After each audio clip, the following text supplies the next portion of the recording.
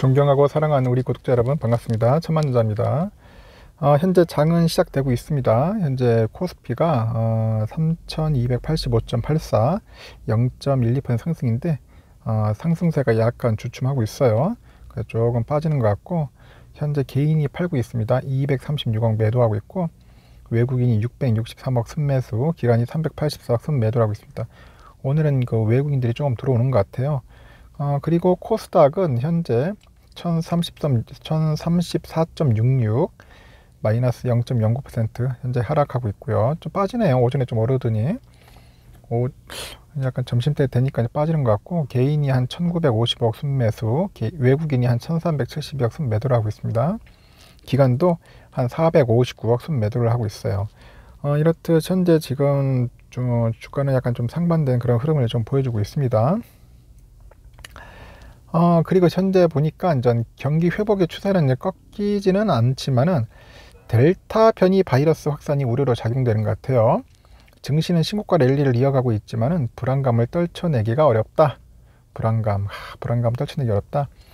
경기와 통화 정책 모두 뚜렷한 방향성을 결정하지 못한 채 못한 채 지금 변곡점에 위치해 있다. 변곡점.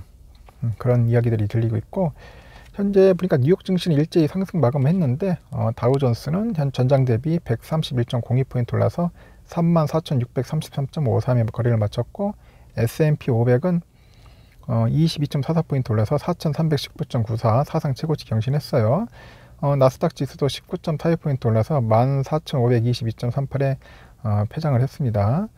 이날 발표된 경제 지표가 주가 상승을 이제 견인을 했는데 미 노동부는 어, 지난주 미국의 실업상 청구 건수가 전주보다 5만 1000명 적은 36만 4천명으로 집계됐다고 하네요.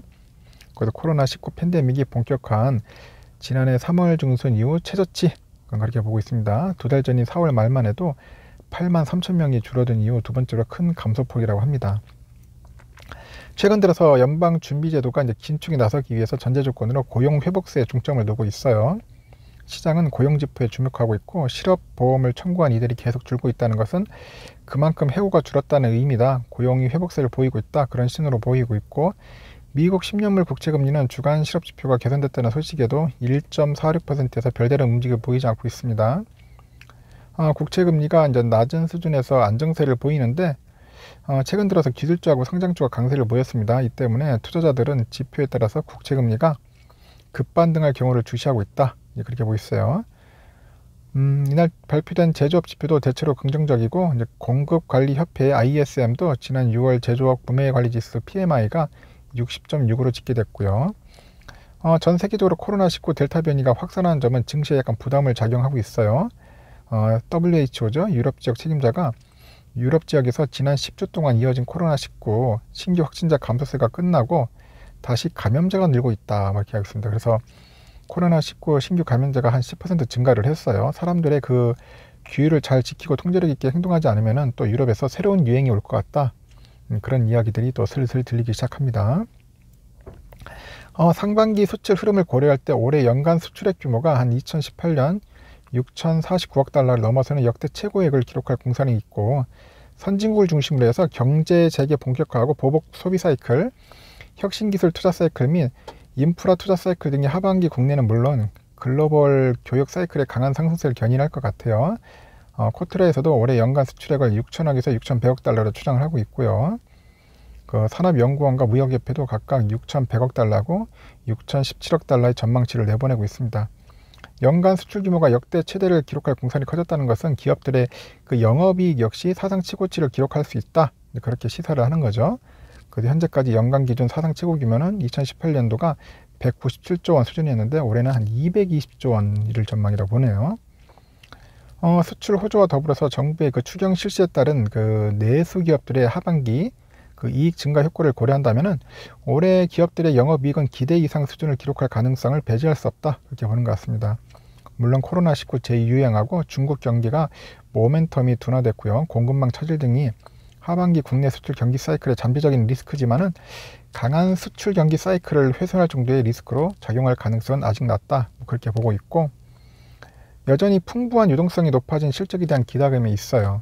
그래서 인플레이션에 대한 우려가 높았지만 연준 연준에서 어, 일단은 현재 선제적인 금리 인상이 없다고 밝힌 만큼 이제는 실적에 대한 관심이 높아지는 시점이고 마침 2분기 실적 시즌의 시작을 알리는 삼성전자 잠정 실적 발표가 다음 주 예정돼 있어요. 그 삼성전자 2분기 영업 추정치가 한 11조 원에 육박합니다.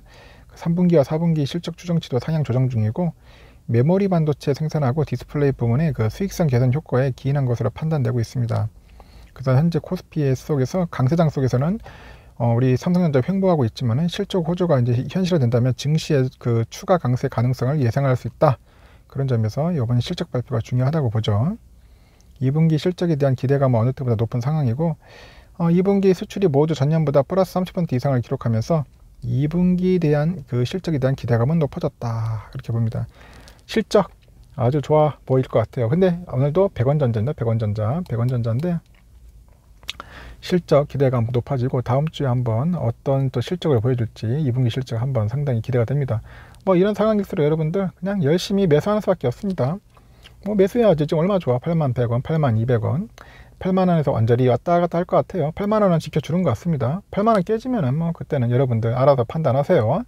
몰빵을 하듯인지 뭐 분할 매수 하시든지 여러분들이 원하는 스타일로 하지만 여러분 지금 당장 주가 오르는 건 아닙니다. 그냥 지금 우리는 뭐 오는 시기다. 저축의 계절이다. 그렇게 생각합니다. 어? 누가 그러대 어느 그 우리 가수분 가수분인데 구독자분이 세월전자래 세월전자 세월이 가면은 다 된다 그런 식으로 해서 느긋하게 기다려라 모아라 그런 분 그렇게 이제 생각하고 투자를 한다는 겁니다.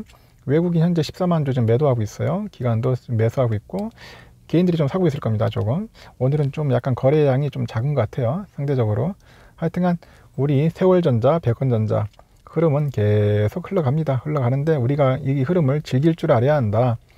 현재 우선주도 마찬가지로 200원 빠지고 있어요. 지금 73,200원에서 흐름을 보이고 있고 오늘은 우선주는 약간 하방의 흐름이 좀 강합니다. 하방.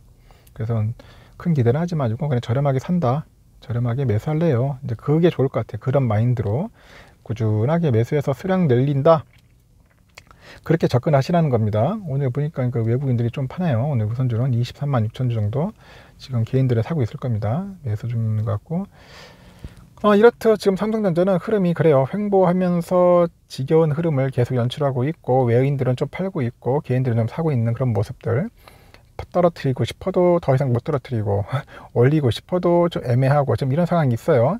어, 외국인도 지금 많이 팔았기 때문에 더 이상 전팔 물량이 있을지 모르겠지만은 지들도 어느 정도 이제 한계가 있을 수도 있을 겁니다. 우리 개인들은 뭐 저렴하니까 계속 산다. 뭐 계속 사서 모으는 거예요. 뭐 단타기임들도 사고, 뭐 장타기임들도 사고.